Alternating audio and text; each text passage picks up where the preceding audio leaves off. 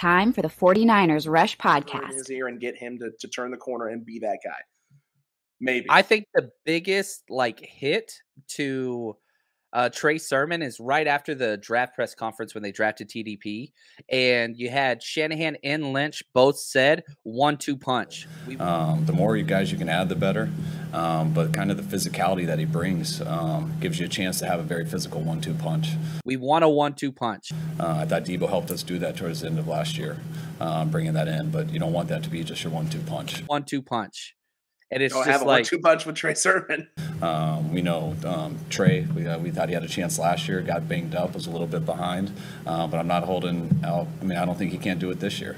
Um, so to add some more competition to him, having guys like Jeff Wilson, Hasty guys in our roster, um, and now adding Ty with what Elijah did last year, and we have a very physical one-two punch.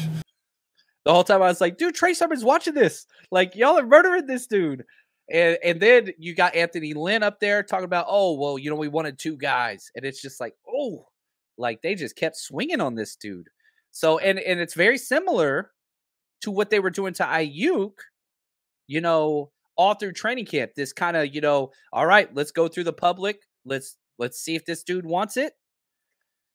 Mm, It's I don't it's know, an- man. it's int- it's interesting how they've played this because I wasn't uh, Ant and I both on draft day last year were not not big. We were not big on this. Um, I remember we had you on not too long after that, and you were selling us on the idea of both him and Mitchell. Um, yeah, I, I thought Mitchell was I got about a year half right. I got half you got, right. Hey, you were you were you were half right on it. And when we left training camp the first day, Ant was all over Elijah Mitchell, literally all over Elijah Mitchell. Like I was sitting there going, "Look, I get what you're saying. All the points that he was making, I was like, I understand what you're saying, but he was running with the third team. Can we?" Because he was he was literally on the on the live stream in the parking lot after afterwards. He's the he was the best running back at camp today. And I was like, whoa.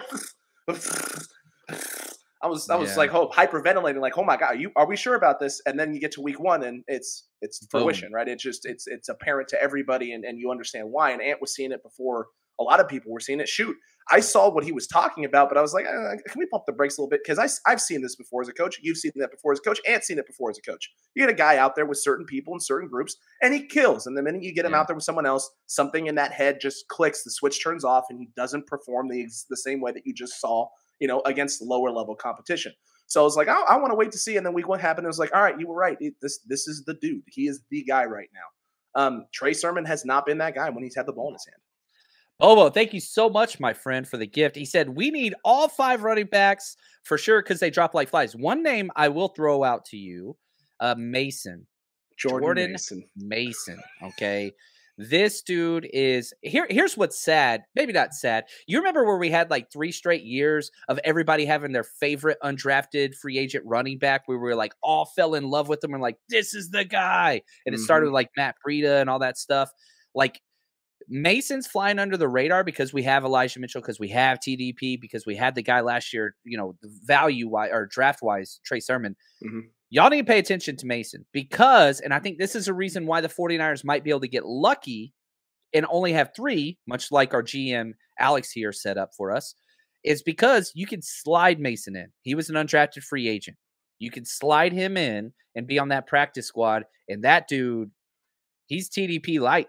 And I mean, that's he's exactly the same body style, running type, all those things. Uh, actually has more workload than TDP had at LSU at Georgia Tech. So you can keep some of those guys around. I think. I don't know. Do you agree there? yes actually this was actually the point i was making when we talked about this a little bit was i am not willing to put any eggs in the in the jordan mason basket right now because i haven't seen it like in person haven't physically got to watch it with my eyes so it's one of those things where it's like i have his name written down it's highlighted there's a star next to it and it's like we need to take like pay very close attention when we get into camp because his progress could actually determine what they decide to do at the running back room because if he is showing all the flashes that people were talking about and OTAs and everything with early stuff with the, with the rookies, then hey, you know what? Maybe you can get away with three guys early in the season. Put this guy in the practice squad. Let him sit there very quietly and work on his craft, get better, work with this with this group, give the Niners defense a good look in practices. And if something happens to one of your running backs during the season, hey, this is not a big deal because if this were any other year, we would have had this guy on the 53 man roster. But Yeah. because it was this specific year with the O line the way it was, we shored our bets up with the O line. We we hid this guy away, and we can call this guy up now and feel really great about our running back room. And I think another thing that's important is we'll get to see this play out because here's the issue with the preseason you got to run the ball. And so you don't cut running backs on the first or second cut. You don't because you got to have those back end guys carry the ball. So we're going to see. You're going to get to see it. Um, and it's going to play out. Oh, Zachary, this is maybe the best endorsement I've ever had in my career, my short career. Um, thank you, Zachary. He says, Great thing about being a, a creator of content, you only have to be right half of the time. I'll take it, baby. No lies in that statement. There's no lies in that statement. I will take it. Uh, I'm gonna make a shirt out of that. I'll tell you what, man, I'm gonna sell that. I only 49ers Rush right. podcast. Right half the time. Half the time. Chance to have a very physical one-two punch.